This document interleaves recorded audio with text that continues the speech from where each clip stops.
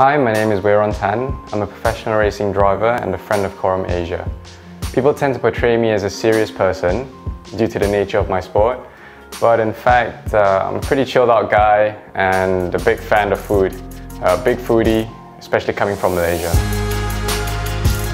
Racing's always been a part of me. I grew up in a world surrounded by motorsport, and I live by the words of the late legend Steve McQueen. Racing is life, anything before and after is just waiting. In racing, you know, time, time is everything. Um, it defines the ability for a racing driver to perform, to perform under pressure, and everything is down to the millisecond. Corum to me is elegance, uniqueness, and precision. My Corum of the day would be to live the dream that my dad never had the chance to during his time. And I'm so thankful for him for this opportunity. And I just want to make my family proud. Being the first one ever in the world of uh, motor racing, I just want to do them proud.